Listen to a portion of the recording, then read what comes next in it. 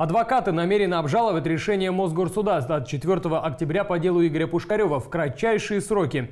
Апелляционная коллегия Мосгорсуда, как мы вам уже рассказывали, оставила без изменений апрельское решение Тверского суда. 15 лет колонии строгого режима и 500 миллионов рублей штрафа Игорю Пушкареву, 8 лет условно и штраф 500 миллионов рублей Андрею Пушкареву, 10 лет колонии строгого режима и 500 миллионов рублей штрафа Андрею Лушникову.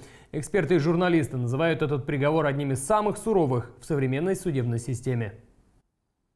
Пушкареву назначено окончательное наказание в виде лишения свободы сроком на 15 лет с отбыванием наказания в исправительной колонии строгого режима со штрафом в размере 500 миллионов рублей. Экс-глава Владивостока Игорь Пушкарев опубликовал на своей странице в Фейсбуке пост, в котором рассказал об апелляционных судебных заседаниях. Дорогие друзья, обращаюсь ко всем, кто меня поддерживал и поддерживает вот уже более 40 месяцев. Я вам очень благодарен, каждому из вас. И для меня это очень важно. Спасибо вам всем. Суд неоднократно подчеркивал факт внимательного изучения наших жалоб и материалов дела. Однако в течение двухдневного рассмотрения апелляции судья-докладчик называла меня Иваном.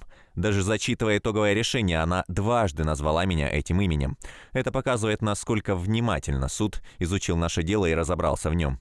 Считаю, что никто и не разбирался, а просто утвердили заранее принятое решение. Но несмотря ни на что, я продолжаю бороться и защищать свое честное имя, написал Игорь Пушкарев. С полным текстом его выступления на суде можно ознакомиться на страницах РИА VladNews. Агентство также вело текстовую онлайн-трансляцию из зала суда и разместило его в сети.